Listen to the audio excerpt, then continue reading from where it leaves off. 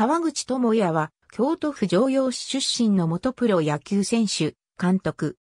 平安高等学校3年生の時の1997年、第69回選抜大会と第79回全国選手権にエースピッチャー兼4番打者として出場。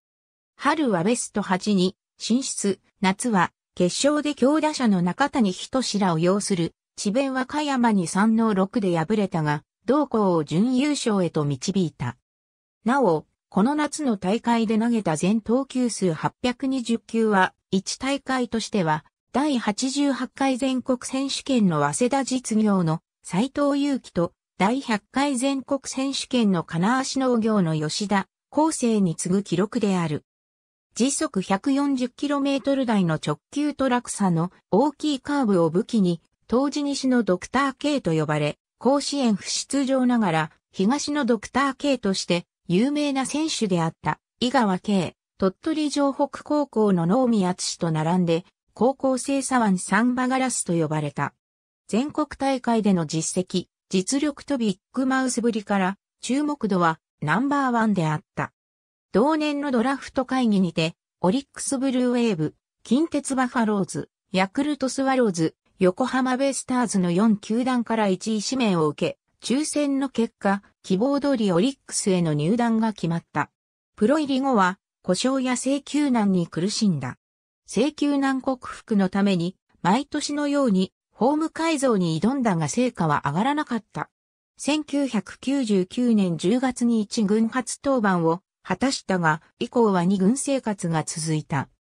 2001年8月4日のウエスタンリーグの対広島東洋カープ戦で1試合6冒頭のリーグ、新記録、8月29日の同リーグの対、阪神タイガース戦では1試合15よし9、7連続よし9のリーグ記録を作った。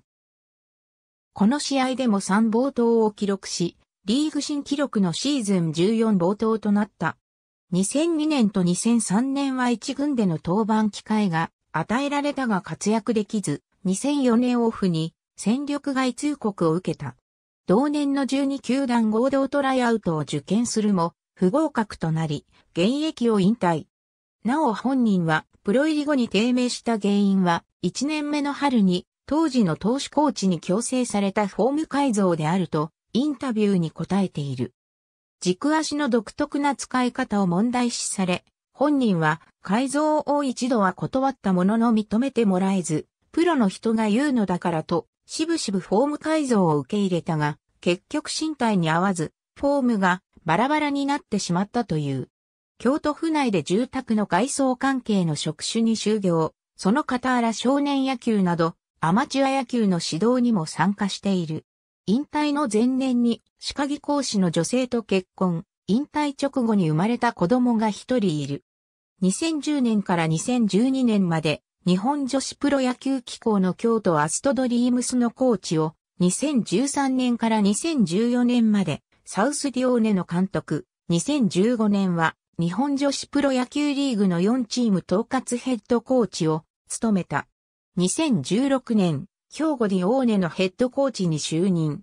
2018年、京都フローラの監督に就任し、リーグ優勝を果たした。インタビューでのビッグマウスぶりは有名であった。特に1997年夏の甲子園、大会2回戦で、後の阪神のリリーフエース藤川球児がいた、高知商戦で、完封勝利後、次の試合で、完全試合を達成します。のインタビューは、高校野球ファンに、強烈な印象を残した。